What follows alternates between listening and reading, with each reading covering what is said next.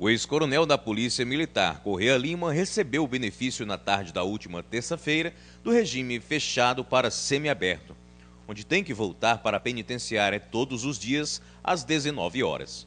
Conforme os arquivos que nós temos aqui na penitenciária, ele já recebeu alvarás ou responde liberdade por outros processos.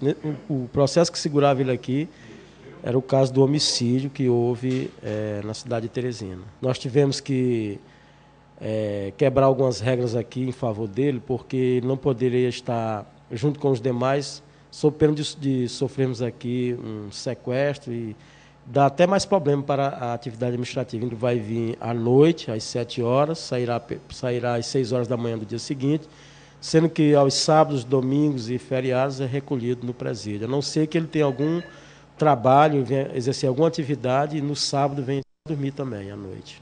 Mas o juiz da primeira vara de execução, José Ribamar Oliveira Silva, informou em entrevista exclusiva à nossa equipe de reportagem que no regime semiaberto, Correia Lima não sairá da penitenciária, apenas da cela para trabalhos internos. O coronel Correia Lima, ele tem quatro condenações que já transitaram em julgado. Essas condenações totalizam 41 anos e 7 meses e alguns dias, não me lembro agora. E dentro, dentro desse período, dessas condenações que já foram julgadas e transitadas em julgado, ele já cumpriu 11 anos desse período de 41 anos de condenações. Para ele ter direito ao regime semiaberto, ele precisaria apenas de um sexto, um sexto dos 41 anos e, 10, e 7 meses.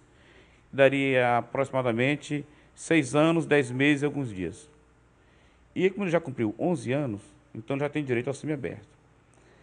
Ao aberto, ele precisaria de cumprir dois sextos, um sexto para o, o, o semiaberto e dois sextos para o aberto. Dois sextos para o aberto, ele teria que cumprir 13 anos, 10 meses. Ele não tem esse período ainda. O regime fechado, o condenado, que é o regime que ele estava até ontem, o condenado fica a totalidade do tempo dentro de uma cela na penitenciária.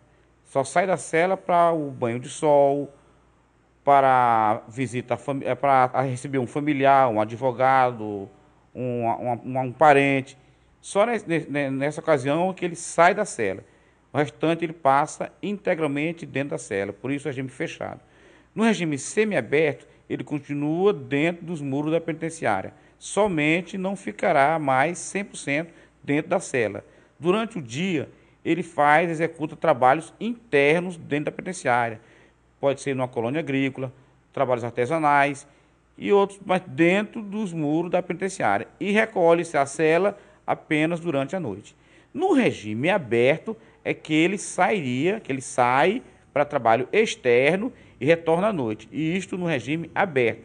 Ele não está no regime aberto ele está no regime semiaberto, porque o, pelo tempo de condenação que ele já tem, ele não tem tempo ainda do, do, do tempo que ele já cumpriu para adquirir o benefício do regime aberto.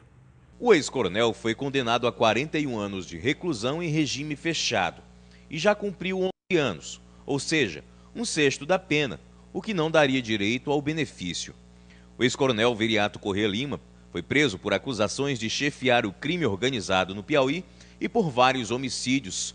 Foi visto na manhã desta quarta-feira, acompanhado de um homem não identificado em uma clínica para iniciar um tratamento médico.